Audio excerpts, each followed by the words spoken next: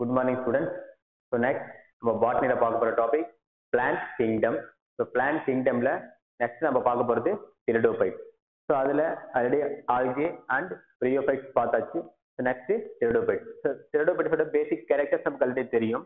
So next நம்ம பார்க்க போகிறது economic importance of pteridophytes so அந்த டெரிடோபைட்ஸ் மூலமாக என்ன எக்கனாமிக் இம்பார்ட்டன்ஸ் இருக்குது அப்படிங்கிறது தான் பார்க்க போகிறோம் ஸோ அதில் ஃபர்ஸ்ட் பார்த்தோம் அப்படின்னா ருமோரா அடியாண்டி ஃபார்மிஸ் அப்படிங்கிற ஒரு பிபிசி எதுக்கு யூஸ் ஆகுதுன்னா ஸோ கட் ஃபிளார் அரேஞ்ச்மெண்ட்ஸ்க்காக யூஸ் ஆகுது. ஸோ ஒரு சில இடத்துல பார்த்தோம் அப்படின்னா ஸோ சின்ன ஒரு பார்ட்ஸில் வந்துட்டு அந்த ஃபிளார்ஸ் வந்துட்டு அரேஞ்ச் பண்ணுவோம். அதாவது ஏஸ்தட்டிக் ஏஸ்தட்டிக்காக ஏஸ்தட்டிக் அப்படின்னா ஒரு அழகுக்காக நம்ம என்ன பண்ணுவோம் அப்படின்னா அந்த ஃபிளார்ஸை கட் பண்ணி அரேஞ்ச் பண்ணுவோம். ஸோ அந்த மாதிரி யூசேஜுக்கு இந்த ஸ்பீசிஸ் யூஸ்ஃபுல்லாக இருக்கும். ஸோ நெக்ஸ்ட் மாசிலியா அப்படிங்கிற ஒரு ஸ்பீசிஸ் ஸோ அந்த மாசிலியாங்கிற ஸ்பீசிஸ் எதுக்கு யூஸ்ஃபுல்லாக இருக்குன்னா ஸோ அது வந்துட்டு ஃபுட்டாக நம்ம எடுத்துக்கலாம். ஸோ இது ஒரு ஃபுட் ஸோ மற்ற ஆர்கானிசம்ஸ்க்கு இது ரொம்ப ரொம்ப யூஸ்ஃபுல்லாக இருக்கும். ஸோ நெக்ஸ்ட் அசோலா அப்படிங்கிற ஒரு ஸ்பீசிஸ் ஸோ இது யூஸ் பண்ணி நம்ம பயோ ஃபெர்டிலைசர்ஸ் மேனுஃபேக்சர் பண்ணலாம். ஸோ பயோ ஃபெர்டிலைசர் ரொம்ப ரொம்ப இம்பார்ட்டன்ட் ஸோ ஏன்னா நம்ம கெமிக்கல் ஃபெர்டிலைசர்ஸ்க்கு ஆல்டர்னேட்டிவாக யூஸ் பண்ணுறது தான் பயோ ஃபெர்டிலைசர் அப்போ ஒரு ஆர்கானிசமாக இருக்கட்டும் இல்லை ஒரு பிளான்ஸாக இருக்கட்டும் அதை யூஸ் பண்ணி நம்ம ஃபெர்டிலைசர்ஸ் மேனுஃபேக்சர் பண்ணால் அது பயோ ஃபெர்டிலைசர்ஸ் அப்போ டெரடோபைட்ஸில் ஸோ நம்ம அசோலாவோட ஸ்பீஷிஸ் செலக்ட் பண்ணுறோம் ஸோ டெரடோபைட்ஸ் மட்டும் இல்லை ஸோ ஒரு சில பிளான்ஸ் கூட ஒரு சில பாக்டீரியா இருக்கட்டும் எல்லாமே பயோ ஃபெர்டிலைசர்ஸாக யூஸ் பண்ணலாம். ஸோ நெக்ஸ்ட் ட்ரையோபெரிக் பிலிக்ஸ் அப்படிங்கிற ஒரு ஸ்பீஷிஸ் ஸோ இந்த ஸ்பீஸோட யூசேஜ் பார்த்தோம்னா இது டேப்வாம் ட்ரீட்மெண்ட்டுக்கு யூஸ்ஃபுல்லாக இருக்கும்.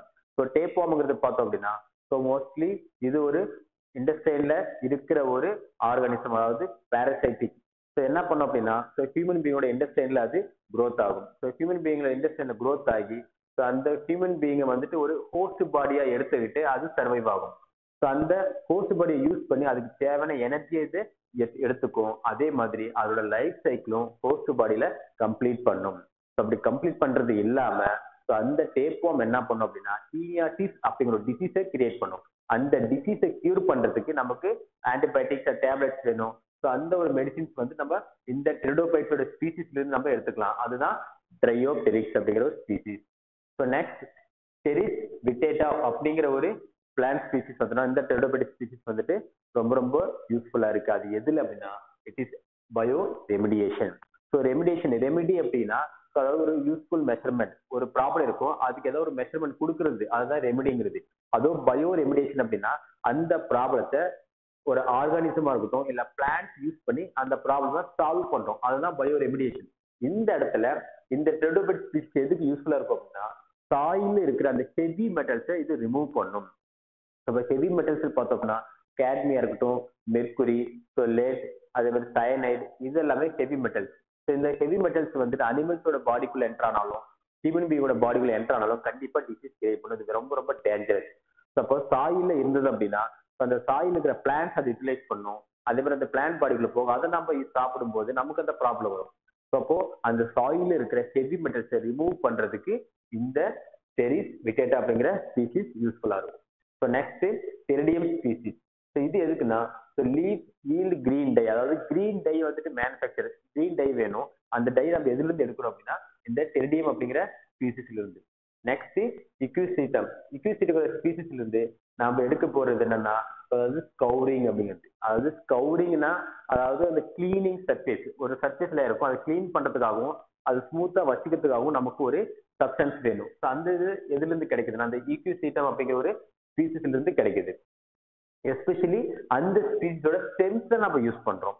ஸோ நெக்ஸ்ட் ஒரு சில டெரிடோபெட் ஸ்பீசிஸ் வந்துட்டு இது ஆர்னமெண்டல் பிளான்ஸா யூஸ் பண்றோம். ஸோ ஃபர்ஸ்ட் நம்ம பார்த்தோம். ஸோ அது வந்து பார்த்தோம் அப்படின்னா அது வந்துட்டு அந்த அரேஞ்ச்மெண்ட் ஃபிளார் அரேஞ்ச்மெண்ட்ஸ்க்காக இப்போ இது என்னன்னா ஆர்னமெண்டல் பிளான்ஸ் ஸோ ஒரு சில பில்டிங்ஸ்ல பார்த்தீங்கன்னா வீடா இருக்கட்டும். ஸோ நிறைய இடத்துல என்ன பண்ணுவாங்கன்னா இந்த பிளான்ஸ் எல்லாமே ஒரு ஏஸ்தட்டிக் பெர்ஃபார்மன்ஸ் தான் வைப்பாங்க. ஸோ அந்த ஏஸ்தட்டிக் வந்து அழகு சாதனம் அப்படிங்கிறது. அழகா அழகா ஒரு காட்சியா இருக்கிறதுக்காக அந்த பிளான்ஸ் எல்லாமே எடுத்து அரேஞ்ச் பண்ணுவாங்க. ஸோ அதுதான் ஆர்னமெண்டல் பிளான்ஸ் அப்படிங்கிறது. ஸோ நெக்ஸ்ட் இதுல ஸ்டீல் அப்படிங்கிற ஒரு பார்ட் இருக்கு. அந்த ஸ்டீலுங்கிறது என்ன அப்படின்னா ஒரு பிளான்ட்டோட ஸ்டெம்மா இருக்கட்டும். ஸோ இல்லை அதோட லீவ்ஸ்ல இருக்கட்டும். ஸோ அந்த லீஃப்ல பார்த்தோம் அப்படின்னா ஒரு பர்டிகுலர் அது ஸ்ட்ரக்சர் இருக்கும். ஸோ அந்த ஸ்ட்ரக்சர்ல ஸ்டீல் அப்படிங்கிற ஒரு பார்ட் இருக்கு. ஸோ அதில் ஒன்றும் இல்லை இந்த ப்ளோயம் அண்ட் சைலம் அப்படி இருக்கும்.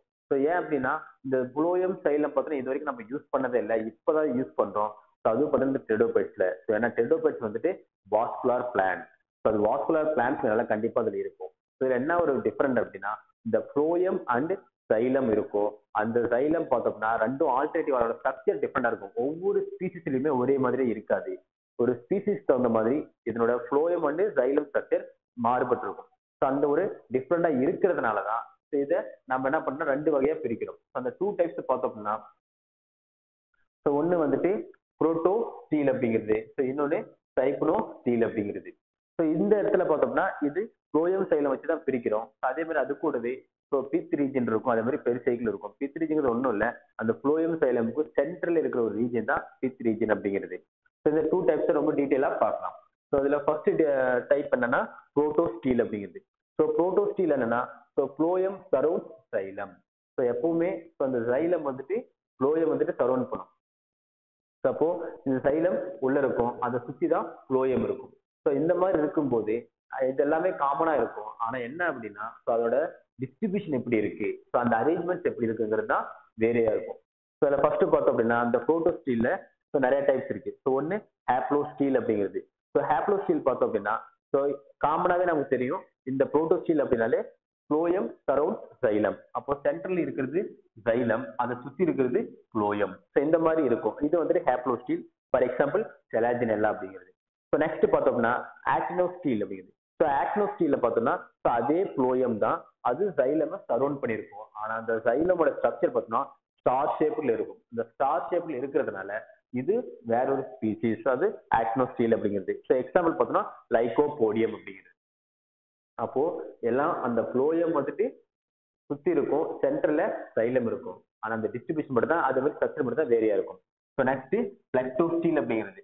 ஸோ பிளக்டோ ஸ்டீல் பார்த்தோம் அப்படின்னா ஸோ இந்த ஃப்ளோயம் இருக்கு அது மாதிரி சைலம் இருக்குது எப்படி அரேஞ்ச்மெண்ட் இருக்குன்னா ஆல்டர்னேட்டிவ் தான். ஸோ ஃபர்ஸ்ட் ஃப்ளோயம் அதுக்கப்புறம் சைலம் ஃப்ளோயம் சைலம் இந்த மாதிரி இது வந்து பிளேஸ்ன்னு சொல்லுவோம். இந்த சைலம் பார்த்தோம் அப்படின்னா ஸோ அது கொஞ்சம் பிரேக்கேஜில் இருக்கு. ஸோ அந்த மாதிரி இருக்கிறதுனால இது வந்து பிளேஸ்ன்னு சொல்லுவோம். அப்போ இது ஒரு ஆல்டர்னேட்டிவ் ஸோ நெக்ஸ்ட் இதுக்கு எக்ஸாம்பிள் என்னன்னா லைகோபோடியம் கிளாவேட்டம் அப்படிங்கிறது.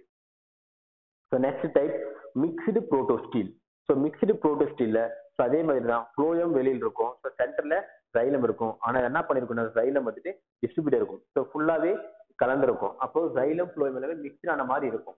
ஸோ அதுதான் மிக்ஸ்டு ப்ரோட்டோ ஸ்டீல் அப்படிங்கிறது. ஸோ இதுக்கு எக்ஸாம்பிள் லைகோபோடியம் செர்னம் அப்படிங்கிறது தான் இதோட எக்ஸாம்பிள் ஸோ நெக்ஸ்ட் என்ன அப்படின்னா ஸோ அது சைப்னோஸ்டீல் அப்படிங்கிறது ஸோ சைப்னோ ஸ்டீல் ஸோ இதுலையுமே பெரிய வித்தியாசம் ஒன்றும் இல்லை. ஸோ இதில் எப்படி இருக்கும் அப்படின்னா இதுவும் சைலம் வந்துட்டு சென்ட்ரல் இருக்கும். அதை சுற்றி என்ன இருக்கும்னா ஃப்ளோயம் இருக்கும். ஆனால் இதுக்கும் அதுக்கு என்ன ஒரு வித்தியாசம்னா ஸோ அந்த ஜைலம்க்கு சென்டர்ல பார்த்தோம் அப்படின்னா அதுல பிச் ரீஜன் இருக்கும். ஸோ நான் ஃபர்ஸ்ட் நம்ம பார்த்த இந்த புரோட்டோஸ்டீல்ல வந்துட்டு குளோயம் இருக்கு சைலம் இருக்கு. இது ரெண்டு மட்டுமே இருக்கும். இந்த இடத்துல பிச் ரீஜன் இருக்கவே இருக்காது.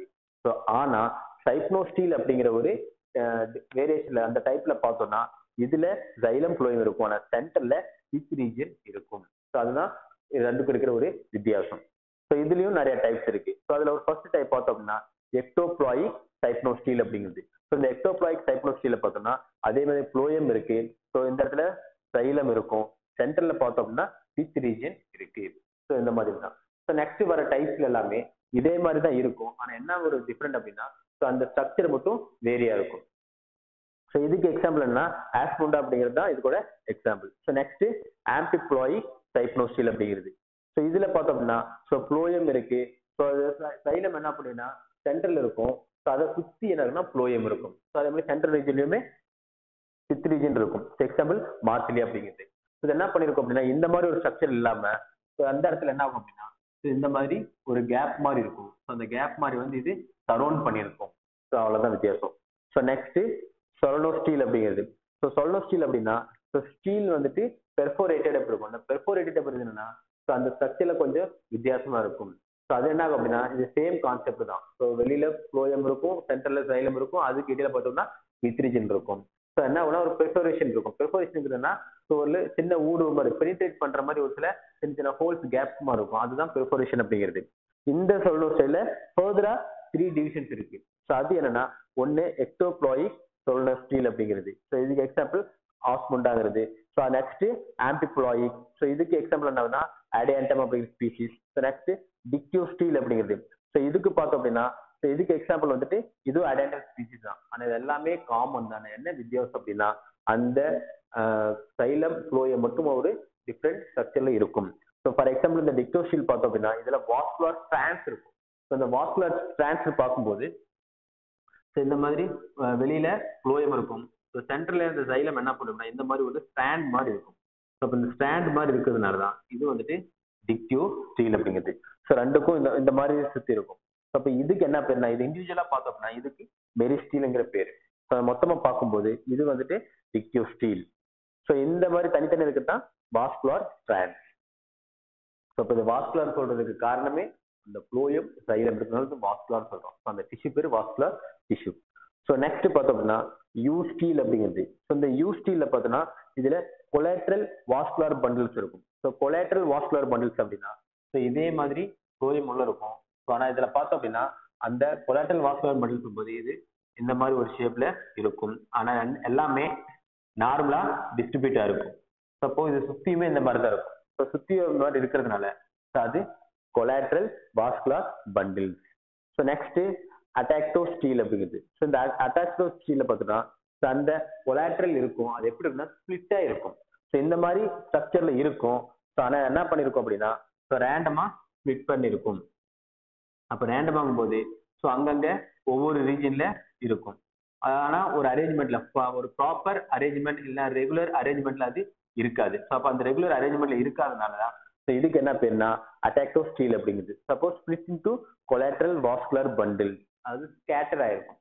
ஸோ ஃபுல்லாகவே செதற இருக்கும் அப்படிங்கிறது. ஆனால் ஃபர்ஸ்ட் பார்த்ததுல எப்படி இருக்கும்னா இப்போ இந்த யூ ஸ்டீலில் எல்லாமே ஒரு அரேஞ்ச்மெண்ட்ல இருக்கும். ஸோ சுத்தி சென்டர்ல சுத்தி ஒரு அரேஞ்ச்மெண்ட் ஒரு சர்க்கிள் ஷேப்ல இருக்கும். ஆனா இந்த அட்டாக்டோ ஸ்டீல்ல அந்த மாதிரி ஷேப்ல இருக்காது. சர்க்கிள் ஷேப்ல இருக்காது. ஆனா அந்த ஸ்ட்ரக்சர் இந்த மாதிரி தான் இருக்கும். ஆனா ஃபுல்லாவே ஸ்கேட்டர் ஆயிருக்கும். எதுல ஸ்கேட்டர் ஆயிருக்கும் அந்த கிரவுண்ட் டிஷ்யூ அந்த ஃப்ளோயம்ல ஃபுல்லாவே அது ஸ்கேட்டர் ஆயிருக்கும். ஸோ நெக்ஸ்ட் பார்க்க போறது பாலிசைக்ளிக் ஸ்டீல் அப்படிங்கிறது. ஸோ இந்த பாலிசைக்ளிக் ஸ்டீல பார்த்தீங்கன்னா so two or more concentric cylinders இருக்கும். ஸோ அதாவது டூ ஆர் மோர் அப்படிங்கும்போது ஸோ சென்டர்ல பார்த்தோம் அப்படின்னா ஸோ அது ஃபுல்லாவே ஃப்ளோயம் இருக்கும். ஸோ அதுக்கு சென்டர்ல ஜைலம் இருக்கும். ஸோ நெக்ஸ்ட் பார்த்தோன்னா இந்த மாதிரி ஒரு லேயர்ஸ் ஃபார்ம் பண்ணியிருக்கும் ஸோ கான்சென்ட்ரிக் அப்படின்னா ஸோ இந்த மாதிரி ஃபர்தரா அடுக்கடுக்க இருக்கிற மாதிரி இருக்கும். ஆனால் ஸ்ட்ரக்சர் சிலிண்டர் சொல்லும்போது என்னன்னா இது ஒரு சிலிண்டர் மாதிரி ஷேப்ல இருக்கும்.